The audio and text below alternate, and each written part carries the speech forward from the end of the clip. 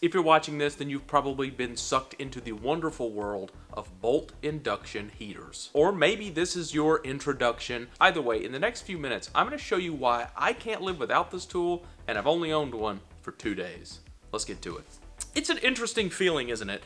When you finally buy one of those tools that you've been putting off buying forever, only to find out that it is an absolute game changer it's a mixed feeling, isn't it? You know, you're excited because you got a new toy, it works really good, you love it, but also running through your mind is all the times you could have used it. And uh, right now in my head, I'm going through all the times in the past six months or so that I have cut off or, or had to get the torch out on rusty bolts it's kind of frustrating because I could have saved myself a lot of trouble. Now when this tool arrived, I was like a kid at Christmas. I had to try it on something. So I grabbed these Ford Y-block exhaust manifolds because they had these nuts on the collectors that were horribly stuck.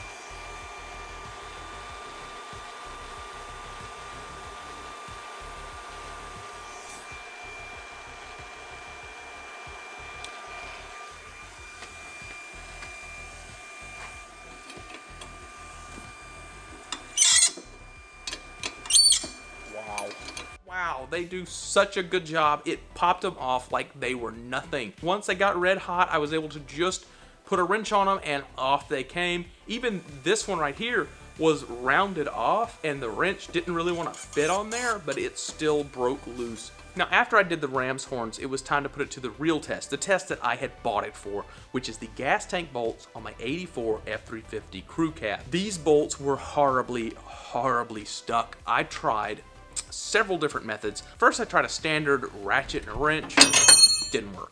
Then I tried a half inch drive air wrench. Ow! Wow, that got, ooh, that was my finger. Yeah, that went even worse. But now take a look at it when I tried the induction heater.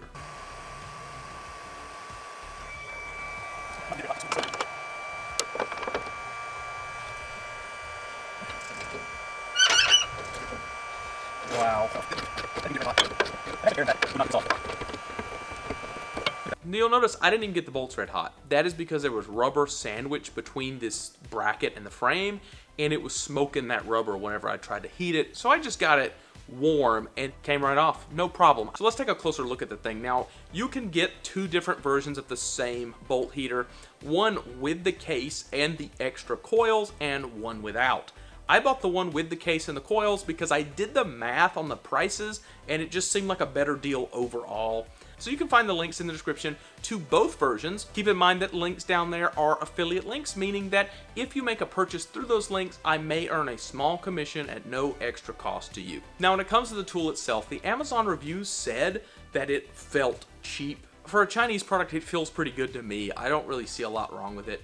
Yes, it is made almost entirely of plastic, it's an induction heater. I would much rather it be made out of plastic. I don't want to be holding a metal induction heater. I just don't don't think that would be a good idea. The plastic feels pretty good. The handle, all of that seems fine. I mean, no, I'm not going to be dropping it on purpose. You're getting what you pay for, and honestly, I think you're getting a pretty good bang for your buck here. I cannot testify as to the durability of this tool, just yet because I've literally only had it one day. I just got it in the mail. I was so excited I turned the camera on wanted to talk about it. The Amazon reviews say the coils burn out pretty quick.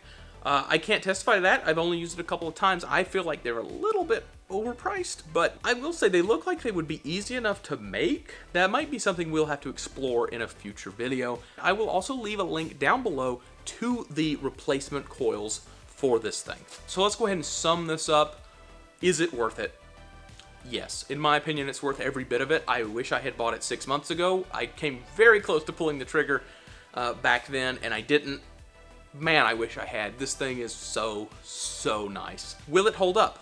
I have no idea. I haven't had a chance to test the longevity of those coils yet, but honestly, if it burns through coils like nobody's business, I'll probably just buy them and not even complain because this thing is that useful. All right, that's pretty much it. I hope you found it helpful. Once again, I love this tool. That's the only reason I made this video. I hope you like it too. I hope it saves you a bunch of time. Thank you so much for watching. I will see you in the next one.